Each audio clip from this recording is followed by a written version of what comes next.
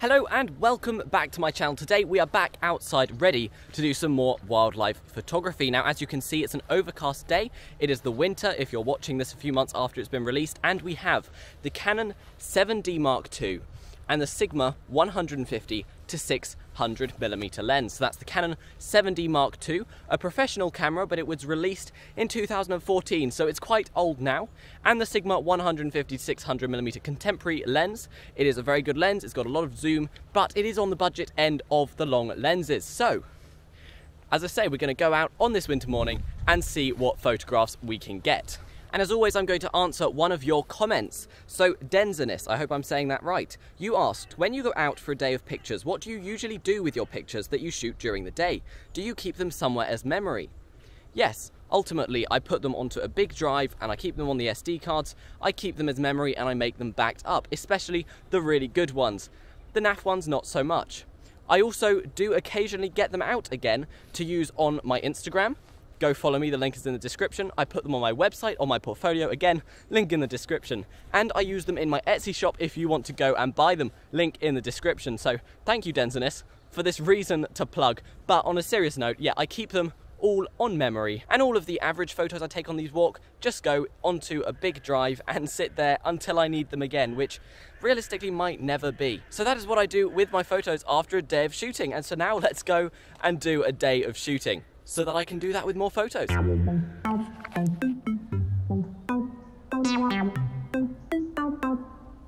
And we've got our first sighting. We've got a flock of Canada geese in this field behind me. They're all the way at the back. Now, as you can see, I've got my camera here.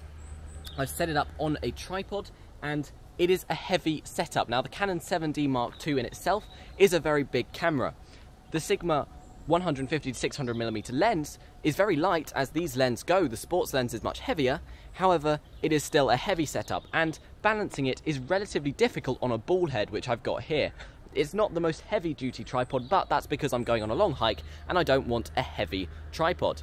Now, as you can see on the back of the screen, I have it recording. We are shooting video on this lens, which I don't normally do. I normally only take photos on this camera, but because we've got the tripod and these geese are so far away, a photo isn't going to be good, whereas when they're further away, video still works very well. So I'm just getting a bit of footage of these geese.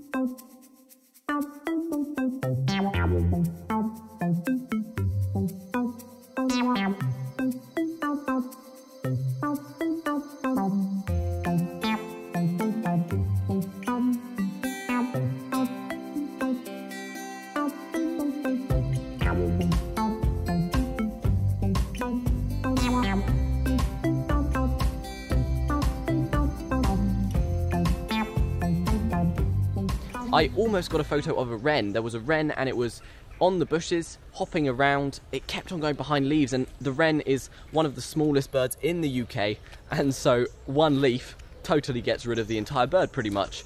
And wasn't I now? I see a yellow wagtail or a, grey wagtail. So I'm going to put you down. Oh, where's he going? No. He flew away. This is a thing with wildlife photography you have to be so on it. They're there for a second and then they're gone. And obviously, I'm putting myself at a disadvantage by vlogging everything because I've got you guys in one hand and then I have to put you down. I have to tell you things and I can't take a photo. Now, I love doing this vlogging, but it does mean we miss opportunities like that grey wagtail. So, I'm going to keep my eyes peeled and hopefully we'll find another one.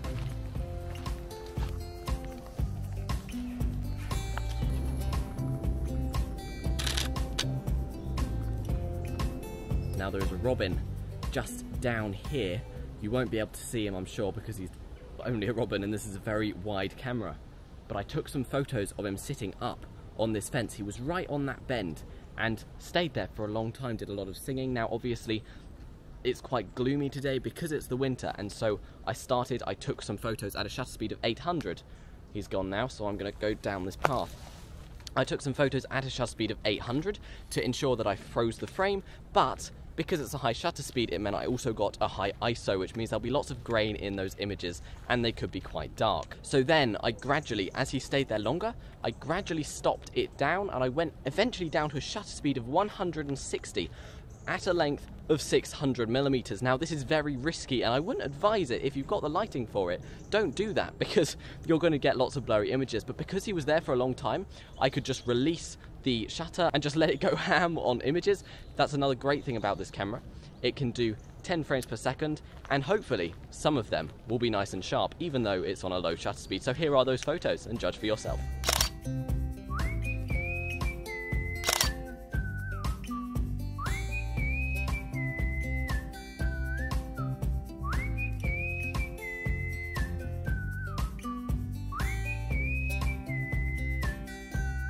And we just got some photos of a moorhen. He was on the opposite bank of the canal, and so he was quite a distance away and they really hug the edge and go underneath bushes. Now you can see there's lots of overhanging vegetation here which means there's lots of cover for the moorhen to slip in under the bushes and hide away and obviously it's dark. Now the sun has also come out as you can see which means we've got a lot of contrast between the light and the dark making the photos quite difficult, but when it did go in the sun, it meant we had more light and so could get a few good photos. Now, the photos aren't that scenic because on the side of the canal, there's this black lining, which I'm assuming is so that the bank doesn't erode, but it means that the photos aren't too photogenic. But I'll stop talking about the photos and I'll show them to you now.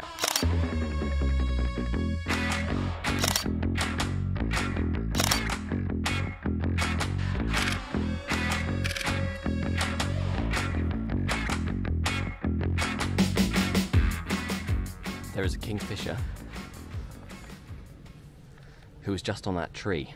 Now I had you in first person when I was taking photos. I got a few photos, but there was quite a strong reflection from his face from the sun. Now he flew across, and I don't know if you will have been able to see that or not. Either way, I've moved a little bit further down the bank, and I'm hoping that I'll get a glance of it soon. I saw it fly across. It hasn't flown down the river, but I've lost sight of it. So I'm just waiting here to see what I can find. So I'll put you back into first person and let's see if we spot it again.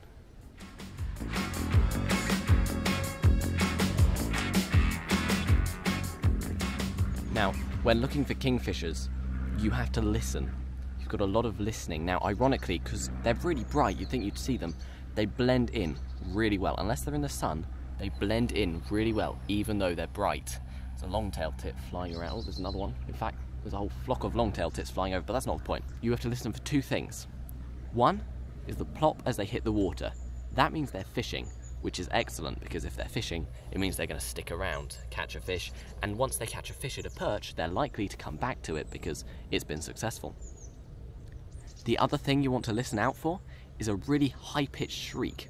It's, it's not a very nice noise, it's just a really high-pitched shriek they make and then they fly. They normally give the call before they fly off. Now, there's a whole, there's grey tits, blue tits, a whole flock of tits and songbirds have just come in and they're all flying around. So they're clearly not really paying attention to me. As I say, I'm crouched down here on the floor in amongst a load of vegetation and I am dressed in green. So I'll put my, my little camo up and we'll keep waiting. Hopefully, hopefully it'll come out. The kingfisher might have moved on, to be honest. I, I imagine I'd have seen it by now.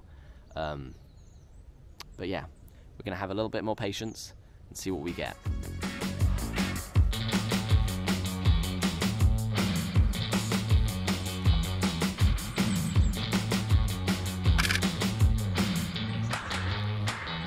Okay, so we're now going on a quick run because I thought of a place further upstream in the direction it was going. And if we're quick enough, we've just got to beat it there. So, little jog People think I'm crazy, but it's all for the photos. Running is hard enough. Carrying all this equipment makes it a lot harder. Almost there.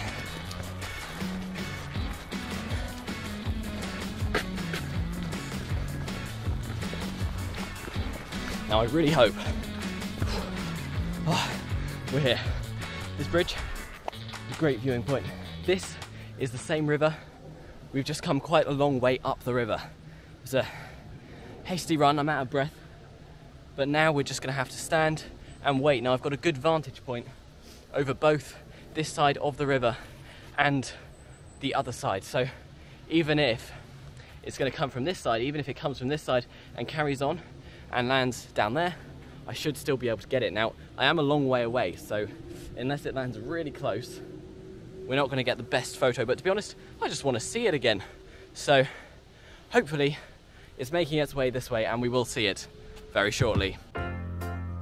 So after sitting on the bridge for ages, setting up the camera, got a few photos of some buzzards, almost got run over by a golfer, and then took some photos of the golfer. I decided I'd been there for long enough, and so we are now back. I waited for about half an hour and nothing showed up. So either he'd already passed through or gone to a different river, which is a shame, but we still got some awesome photos. Now I still got a lot of countryside to cover before we're back, so I'm sure we'll find something else.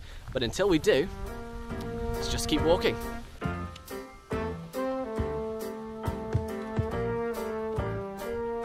And because it's Britain, we found another robin. Now this robin was in amongst some ivy and there was some holly, I think it was some holly berries, some red berries, I don't know what it was. But it was a beautiful plant and it really gives me Christmas card vibes. A bit of snow in there and it would have been perfect. So here are the photos. You can see there's the robin and then the background's beautifully blurred out. Now the zoomed in ones, you can see you can see the bird a lot better. And again, I zoomed out for context. This is something I'm going to be trying to do more because I think as a photographer, it's good to develop our skills and try different things. And so I'm going to try and include the context. I've got plenty of close-up shots of birds, but getting them in different environments adds something more to the photo. And we're now on a farm and last time I was here the crops were all really tall, they were taller than me and all of the birds would be inside these crops and it was impossible to get photos because there was vast amounts, I mean you can see this is a very large farm and all of the birds were in the middle of these huge crop fields. Well, clearly, those crops are gone. We now have the opposite. We have just barren spaces of kind of muddy straw, and that means now there's just no birds here.